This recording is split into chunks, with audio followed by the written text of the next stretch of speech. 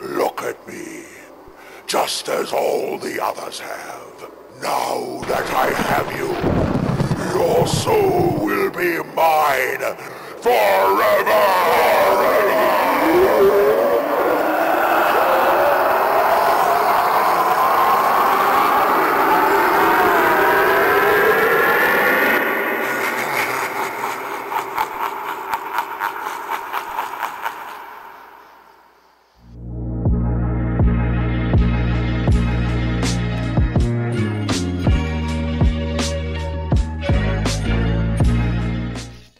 y'all, what's up? It's Kellen with K&T Do Halloween.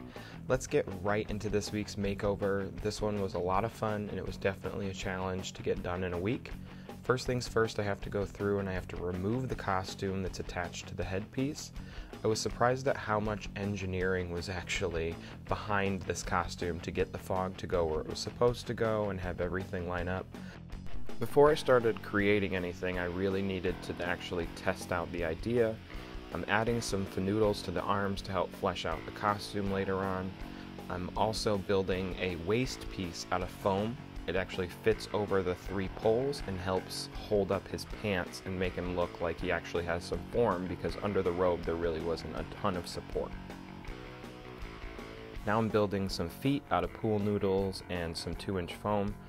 I didn't want to spend a ton of time on them, and this was a quick and easy solution that I knew I could cover up with gauze or something later. Moving on to the little girl, I'm going to be giving her some legs and changing out her costume for that of a trick-or-treating mummy. I'm using the foam noodle inserts and the fabric of her gown with some hot glue just to give her body some shape and form without adding weight. This project was extremely costume heavy, and in an area that I don't usually dabble in, which made it quite the challenge. I'm now going in with just an old pillowcase. I actually used two of them. I cut it into strips and then used hot glue to just wrap it around the body form. You'll see later on that I'm using larger pieces of fabric glued to the back and I'm also using her Velcro piece. I wanted it to look like it was an actual homemade trick-or-treating costume to help sell the effect. This was a lot more challenging than I thought as well, because there was a lot of engineering and thought that went into the fog tube placement. So I had to make sure that the costume fit, but didn't fit too tight and didn't restrict any of the movement. My best advice for anyone who wants to attempt this at home is to test, test, and test again. Make sure before you finally seal it and put it all together that you are testing every piece. Now I'm moving on to creating the neck piece for the costume. If you notice the nightgown has a really large ruffle that's clipped high up on her neck that actually helps cover the fog tube that's coming out of her mouth. I needed something that would cover the mechanism but not restrict any movement to the prop and also wouldn't get caught. So I opted to create the exact same concept as the ruffle from the nightgown, I just added strips of fabric to help sell the mummy effect and the last piece I'll be building for her costume is some wired fabric strips. I'm going to be using electrical wire, some pieces from the pillowcase, and hot glue to sandwich it all together. I'll be attaching these to the back of the costume and creating a flowing ribbon effect to almost help sell the magic when you see the costume being picked up and help distract the eye from the fog tube.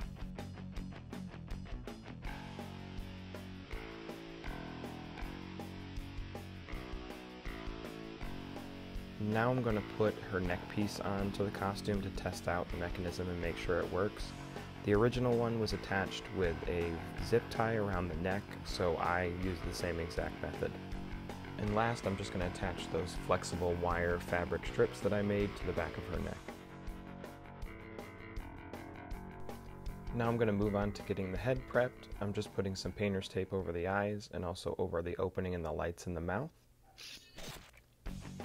I'm moving on now to creating some stretchy pieces of flesh on the side. Initially I thought latex would work good here, but it just wasn't working out, so I ended up using some strips of gauze, attaching them at the cheekbone and then down at the jaw, and going back over those fabric strips with hot glue, letting the hot glue run down, and that created a really cool fleshy effect that was more solid than latex and actually stuck to the mask.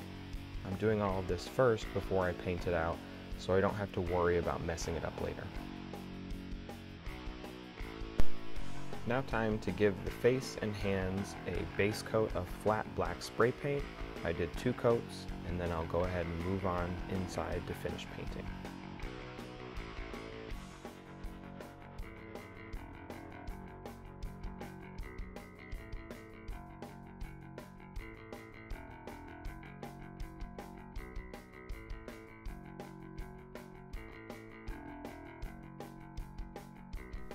Now moving on to the fun part, the painting. I'm using some flat latex exterior paint in a brown color and I'm dry brushing on several layers. This allows me to help build the depth while still keeping all the details and the depth in the shadows. I gotta be honest, I was really excited to see this sculpt, however I was super disappointed at how much detail the sculpt actually had for this prop, but was removed by just poor painting from the production facility. I'm going in and adding some white to his teeth, using multiple layers to build up depth and create texture where it isn't. And then I'm going to use darker paints to actually bring the brighter spots like the teeth back down. I'm just working in with some green paints and then going back over and making his teeth look a little muddier and filling in his nose holes. I'm then moving on to the hands. Same thing I did as above, I'm just basing out with a flat exterior latex brown paint, dry brushing on several layers until I get the texture that I want, and then I'm going back in with several different brown and green tones to dry brush, dab, and stipple to help build up texture and add depth.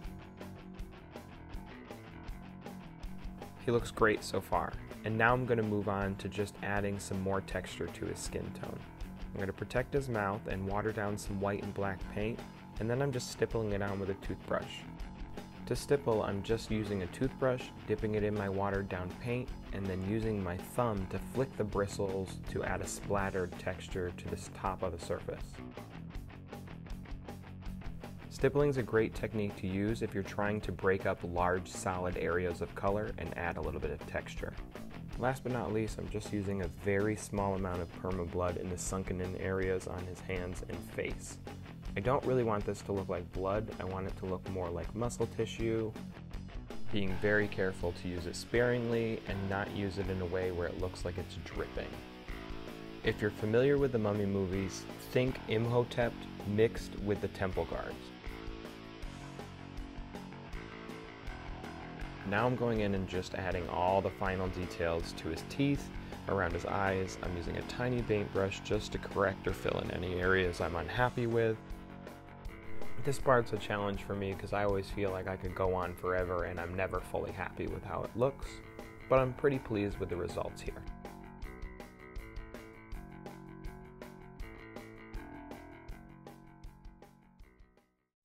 Now moving on to creating our mummy costume. I'm using two costumes off the shelf from Spirit Halloween. One is an Egyptian costume, the other one is a mummy costume, and I'm using them as the base. They look pretty cool right out of the bag, but of course I had to take it a bit further. Using a leather roughing tool, I just scratched up the waist and the belt area, and then I'm using beige and brown and black spray paint to help break up the shirt texture as well as add some sand texture down to the skirt on the bottom. For the strips, I'm using cheesecloth I purchased from Home Depot and quickly dunked in some RIT dye. There's plenty of videos out there, so I didn't feel a need to cover it. I then cut it into strips, and I'm just using hot glue to wrap the arms and then help build up the body. I wanted it to look organic and I didn't want to waste a ton of time doing the back. I'm now going back over my brown base with some strips of white cheesecloth and this is just to add depth. I'll go back in later as you'll see and really muddy this thing up. It looks very bright right now, but it's all about adding texture and contrast before you go in and grime it all up. Moving on to the legs, I'm doing the same thing as above. I'm just using the brown cheesecloth with a hot glue gun and meticulously wrapping it up the legs until I have the look I want. There's pool noodles inside of each leg just to help give it some form. This one was a challenge to create support for because it's on that tripod stand, so you really kind of have to work with it. And here's how it turns out before I go in and start to make it gross.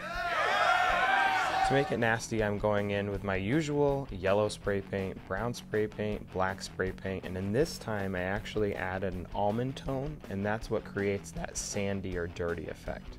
Now I'm going in with some wood stain. This is some fast drying wood stain in a wood oak color. And then I'm going in with some silicone caulk in a brown color, and I'm just adding to the bandages. I wanted him to look like he just crawled out of the ground. I also chose to repurpose the robe off the back. This is just a nod to the mummy character from the movies. And here's the final result before we hook it up to the fog machine. It was a lot of work for one week, but he turned out spectacular. Definitely meets the vision that I had in my head of this really gross, scary mummy sucking the life out of a trick or treater who is running around impersonating him. This to me was what I originally thought when I first saw the Harvester of Soul props at Spirit Halloween, and it's really cool to actually see it come to life.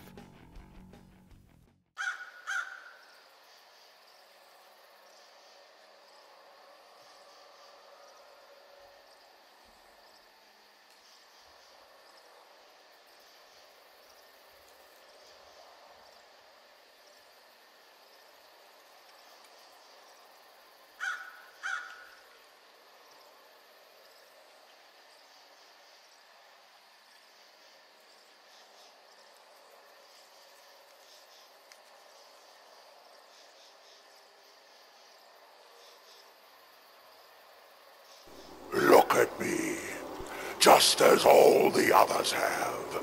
Now that I have you, your soul will be mine forever!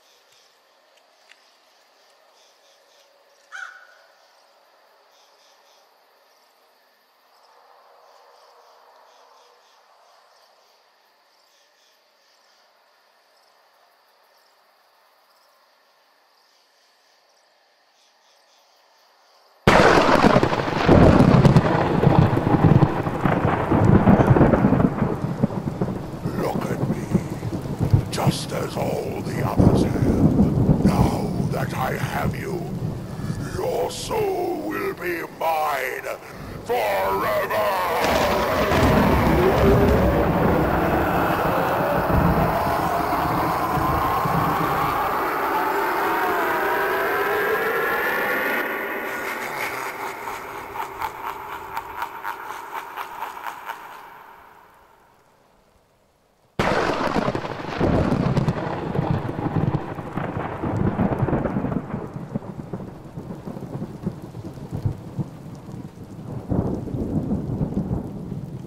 Look at me, just as all the others have. Now that I have you, your soul will be mine forever!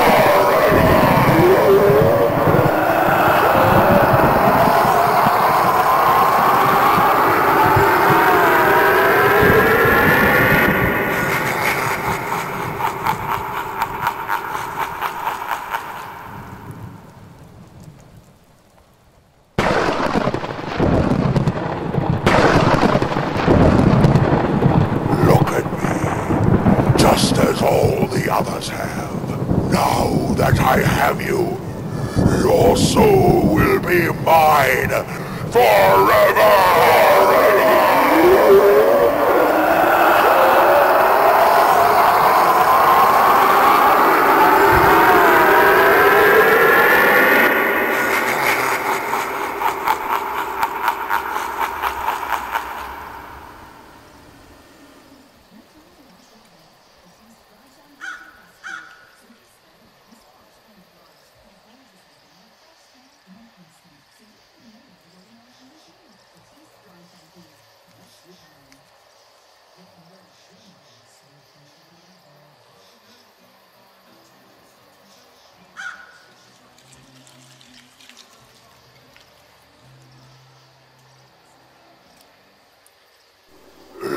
Me, just as all the others have. Now that I have you, your soul will be mine forever!